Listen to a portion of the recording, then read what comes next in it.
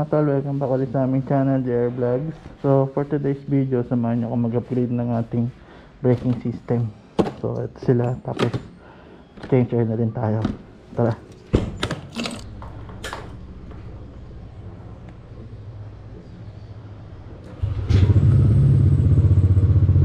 So, pupunta tayo sa Rockwell Motor Parts. So, kung naalala nyo yung pinagpagawa natin ng panggilid, So, sila yung pagkakabitin ko ng aking upgrade ngayon, yung ating braking system na para sa ating Aerox 155. So, malapit lang naman yung dito sa amin near Novaliches, Crino Highway sila.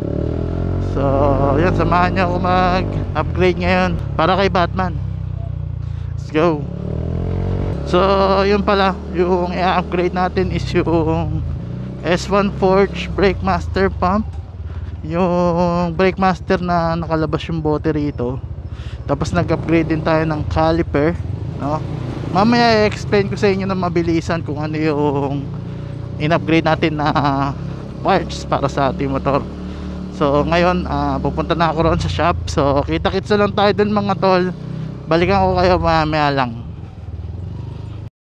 So yun mga tol, no, uh, tatry ko explain sa inyo yung bawat parts nung i-upgrade natin sa braking system ng ating motor na yung Aerox 155. So yung brand pala na napili natin is yung Racing Boy. No, okay. So simulan natin sa unang part. So syempre pag mag-upgrade ka ng braking system, kailangan na kailangan mo to. Ito yung caliper. So yung binili pala natin na caliper is ito. Ito yung tinatawag na Racing Boy Brake Caliper S-Series. Ito siya mga tol. So, sa loob ng caliper is meron na siyang kasamang one set ng disc pad. So, may kasama din na yung bleeder niya, yung tornilyo niya rito ay papasok. So, ito lang yung laman niya. So, itong S-Series mga tol, eh, mas malakas siya sa stock kasi yung stock natin is may one piston lang. Kung nakikita niyo yung stock na caliper, may isang bilog doon. Yun yung tinatawag na piston. So itong bilhin natin na S-series is meron na siyang uh, double piston. So nakikita niyo itong bilog na to. Yan. So syempre pag nag-upgrade ka ng caliper, kailangan mo rin mag-upgrade ng master brake pump. So ito siya. Yung nabili natin is yung S1 Forge Brake Master Pump. So ito siya mga tol.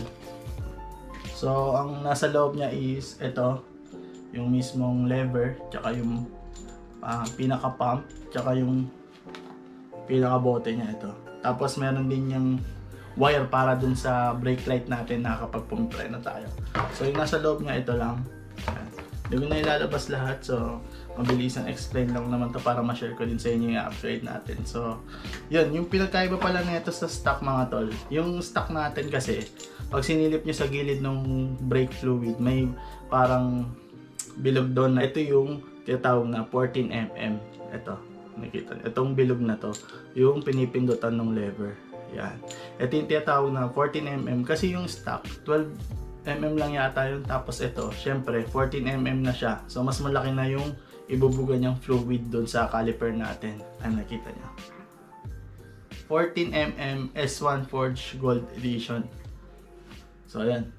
Siyempre, pag nag-upgrade ka ng caliper, tapos nag-upgrade ka na rin ng buster brake pump mo, kailangan mo rin mag-upgrade ng hose. Siyempre, mahalaga to mga tol, kasi pagka daw yung stock, so goma daw kasi yon ito parang braided na teflon. So, mas mas pulido daw yung pagbato ng fluid sa caliper natin. So, mas malakas yung pagsara niya. Kasi nga, hindi na siya, yung stock kasi goma. So, parang pagka yung goma nga daw, pagka mga bigla ang preno, kasi nga goma parang lumuluwag siya. Parang kunyari, ito yung hose, parang pagka bigla ang preno, parang lumalaki. So hindi niya nabibigay talaga yung power nung preno. Hindi niya nabibigay yung power dun sa caliper. So ito kasi Teflon, diba? straight na siya. Kumbaga, pagka pindot mo, pagka pump mo, diretso agad sa caliper. So, yun. So, yun yung lastly na in-upgrade natin, syempre, yung left Kumbaga, yung kanina, yung right natin para sa kanan, ito yung sa left. Ito mga to, depende na sa bibili kasi ito halos wala namang pinagkaiba sa stock. Ganun pa rin. Pero, syempre, eh, set to. Binili ko na rin yung kaliwa. So, ito wala, wala naman ako masyadong i-explain dito. para lang eh magpantay siya doon sa appearance. Ito nga pala yung S1 Forge clutch perch, no? Sa may mga clutch na motor, ito din pwede rin to. Pero sa preno, may co-convert lang yata tayo ng kaunti para maging preno siya sa kaliwa. So yun, um, S1 Forge din siya. Actually, uh, partner talaga sila. Ayun lang yung explanation ko, napakabilis. No? Hindi naman kasi ako masyadong expert pagdating, sa mga ganyan. Although na inaral ko din naman bago tayo mag-upgrade.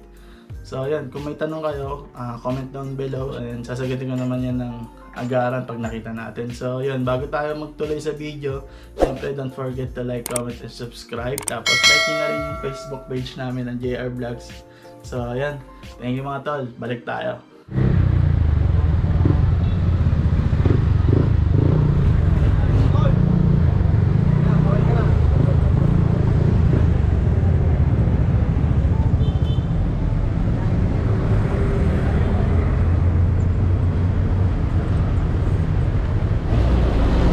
Ah, pre.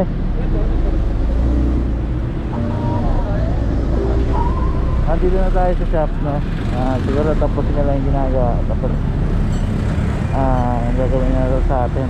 So yun mga tol, ito yung upgrade natin, no? Yung right, tsaka, ito yung right master pump, tsaka itong left. So papalitan natin yan ng racing boy, yung may baso dito. So yung gagawin niya kakalasin to, tapos papalitan ng buong asi ng preno tsaka dito sa kabila tapos dito naman sa baba papalitan natin dito is itong caliper natin. So gagawin natin ito mamaya ng S series ng Racing Boy. Tupat na rin yon tapos itong hose na goma na stock papalitan din natin yan ng Racing Boy. Tapos yung disc pala tataka kayo siguro ba't di ako bumili ng disc? Kasi naka Racing Boy mag disc na rin tayo.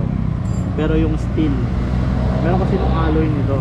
Pero mas trip ko to kasi parang lightweight siya parang may butas kasi rito so butas butas so kasi nung parang makapal eh. Pero okay na yan kasi racing boy na rin yan. So ayan uh, balikan ko kayo maya maya kapag uh, gagawin na tong uh, motor natin.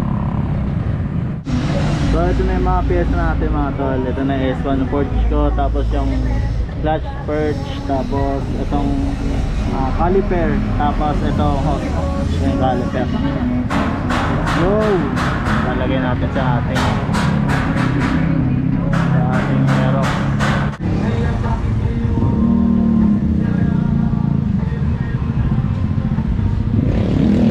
so ito yung babaklasin natin mga tol. Ito papalitan natin buong asi tsaka ito yung brake master na kanan. Stock. So ayun. Binabaklas na ni Marlon. So yun. Tuloy tuloy lang babaklasin na natin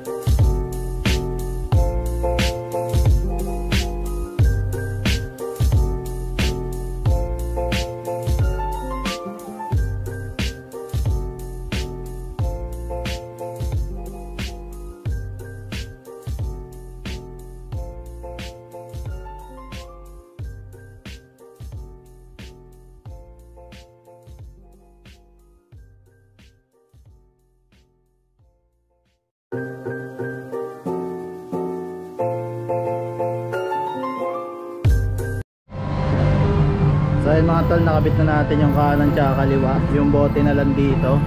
So ayan, huwag nyo kakalimutan tong ano, ah, brake switch sa pag, pag pumipreno kayo. Sa yung kaliwa. So ito yung caliper natin tsaka yung hose. Ah, nakabit na rin. Let's go, konti na lang to.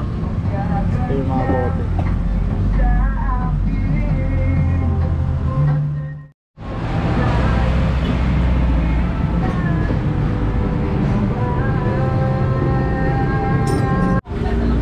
na, bleed na.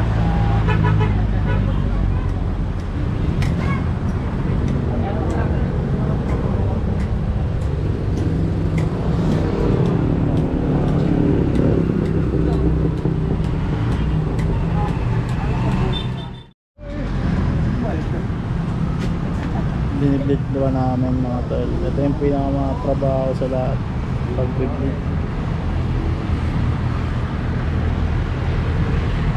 Isa okay na.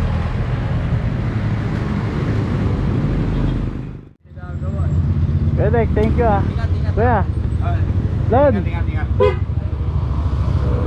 Thank you pre.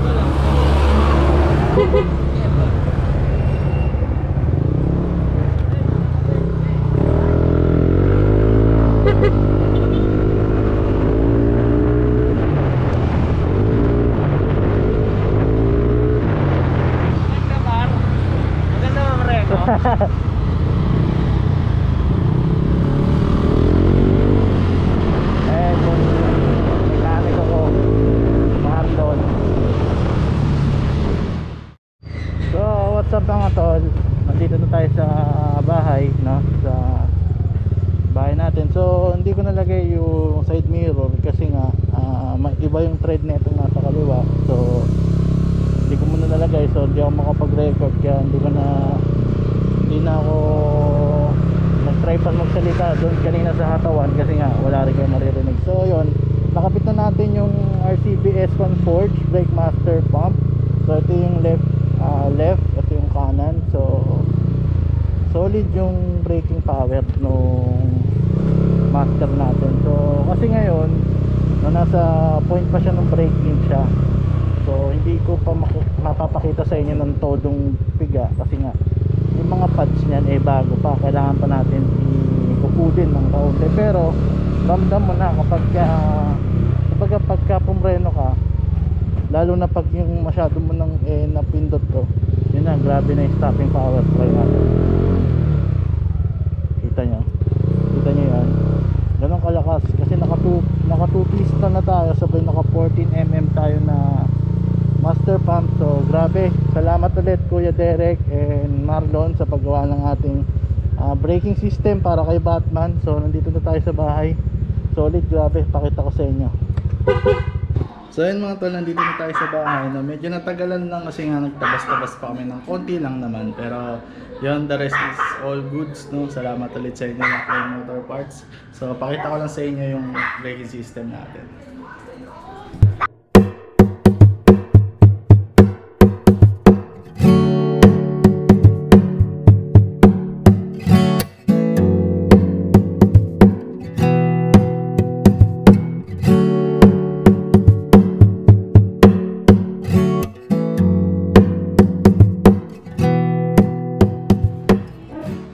Dahil mga tol na nakabit na natin yung caliper. Ito yung caliper natin, S, S series caliper. So yan. Um, ganyan siya. Tapos ito yung hose na syempre racing boy tayo. Medyo madumi lang ang kamay ko. Tapos yan. Tapos dito naman sa baba, ah, wala naman nangyaring um, convert or tabas. So yan, plug and play lang siya. Pati yung hose. So dito sa taas, sa left, na nagkaroon lang tayo ng konting tabas dito kasi nga pag pumipreno, tumatama siya. But yun, hindi naman major yan. So, dito tayo nagkaroon ng medyo nagkatabasan kasi tayo, lalo na dito.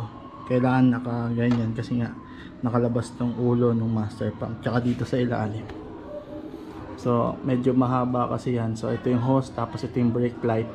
No, medyo mahaba siya. Kasi yung stock nandito sa dulo, sa pakanan. So, ito, pababa. So, ang ginawa natin, nagtabas tayo dyan. So, wala na tayong clip dito. Pinutol na natin to. But, hindi naman halata. So, napakagwapo. Ganda ng pagkakatabas. Salamat din ah, Rockwell Motor Parts ulit. Pakapogi na motor natin.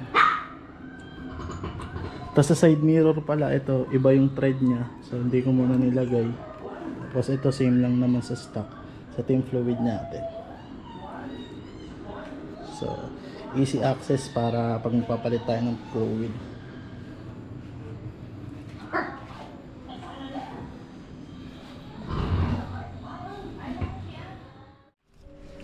So yun mga tol, hanggang dito na lang yung vlog natin sa upgrading natin ng brake, braking system para sa ating motor. So yun nga, salamat ulit sa panonood nyo mga tol. There are vlog signing out. Peace!